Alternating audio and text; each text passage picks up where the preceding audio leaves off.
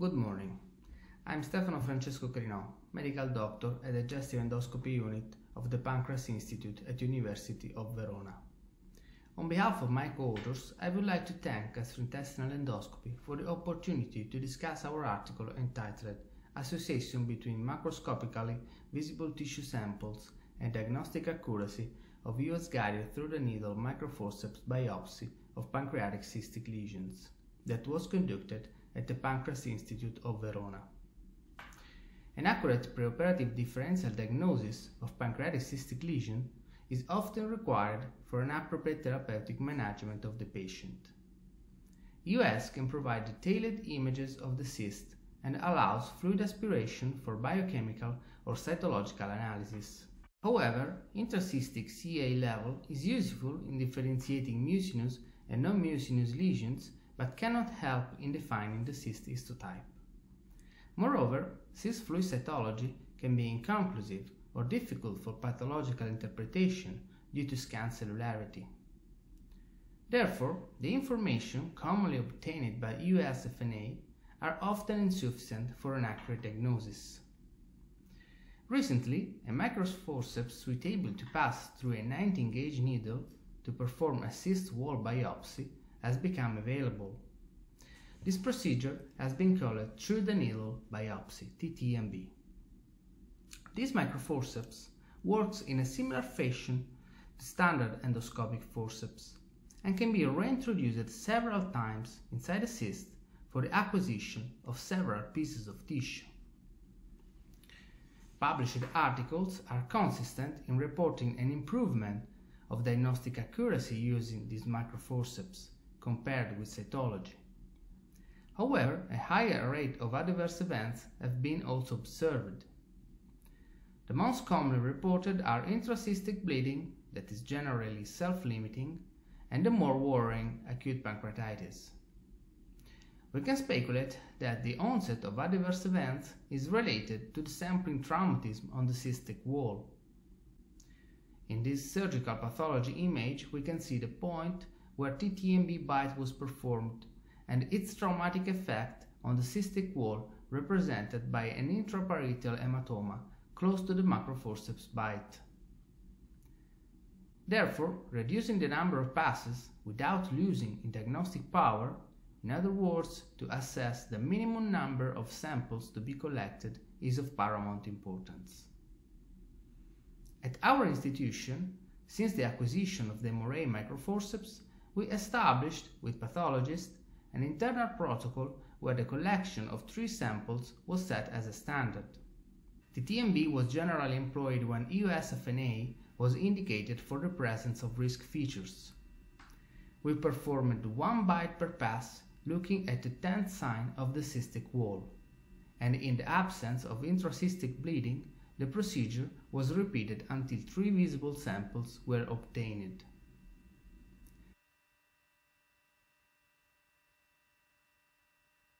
For each TTNB specimen, as well as for cytological smears, we evaluated the diagnostic yield at four levels, capable of differentiating mucinous and non-mucinous cysts, provide cyst-line epithelium, define the grade of dysplasia, and provide a specific diagnosis of the cyst histotype. We therefore assessed the diagnostic yield of 1, 2 or 3 TTNB samples and compared with cytology. When the first retrieval sample was evaluated, only the possibility to reach a specific diagnosis was significantly improved. Differently, the availability of two samples enhanced all histological categories. Two specimens also increased diagnostic yield compared with one sample, despite a statistical significance was not reached. Finally, in our study, the acquisition of a third sample did not improve the, the value of any histological level. To evaluate the reliability of TTNB diagnosis, we compared TTNB findings with surgical pathology in 20 patients who underwent resection. The concordance rate between TTNB and surgical specimens was 90%. We observed two non-concordant cases where a diagnosis of simple mucinous cyst was done by TTNB, but at surgical pathology these lesions resulted to be mucinous cystic neoplasm. The diagnosis of mucinous cystic neoplasm is based on the finding of the ovarian-like stroma in the cystic wall. In these two cases, ovarian-like stroma was not found in TTNB sample, despite its zoological adequacy. I think these results deserve further discussion because represent probably the major limitation of TTNB.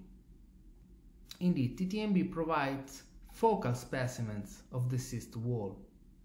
However, the cyst wall is not homogeneous, not only about the presence of ovarian-like stroma, but also for the epithelium grade of dysplasia. For example, this histological image of a resected mucinous cystic neoplasm shows that a large portion of the cyst wall don't have ovarian stroma. Again, in this case, we can see that epithelium dysplasia involves only a small segment of the cystic wall. In conclusion, the standardization of TTNB technique to reach the best diagnostic outcome with the lowest rate of adverse events is crucial in this procedure.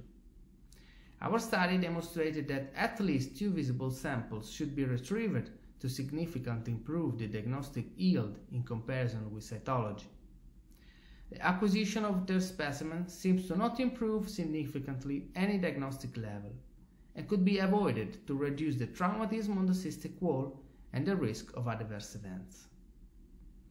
However, future studies should be specifically designed to assess the correlation between the number of TTNB passes and the onset of adverse events, and should also explore the impact of applying prophylaxis utilized to prevent post-ERCP pancreatitis. I and all my co-authors thank all of you for watching this video, and I invite you to read our article in gastrointestinal endoscopy.